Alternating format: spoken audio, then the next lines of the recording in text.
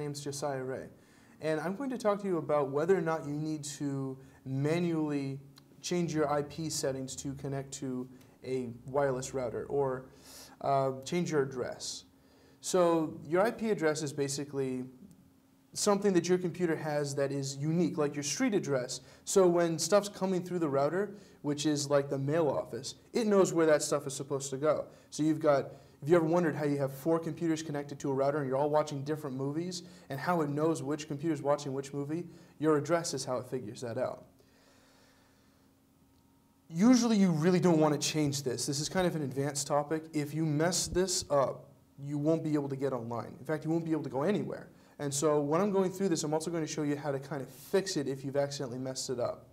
Although on a side note, if you've got a printer, a lot of times those printers will need to be manually configured, but that's a different topic altogether.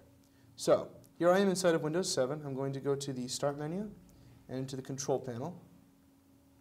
And I'm going to open up the Network and Sharing Center. And let's click on Change Adapter Settings.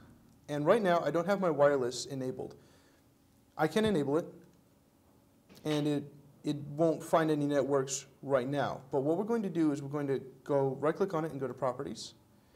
And it gives us a whole mess of different things that we can mess with. We really shouldn't be, but we can.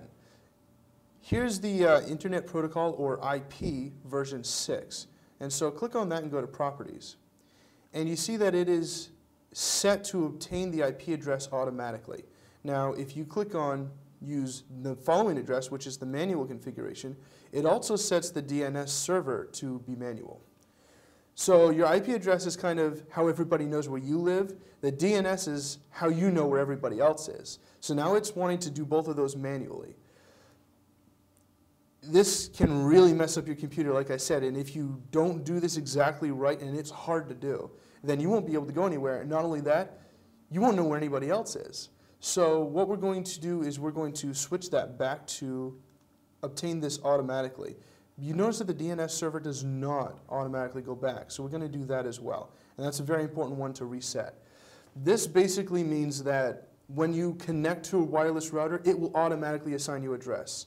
It's got a block of addresses that came with your router, and it's going to divvy those up when computers connect to it. So if you set one manually and it doesn't line up with an available address, then you're kind of out of luck. You're not going to be able to go anywhere.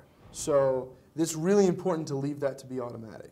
I hope you've enjoyed this video on whether or not you need to manually configure your IP address to connect to a wireless router. I'm Josiah Rea.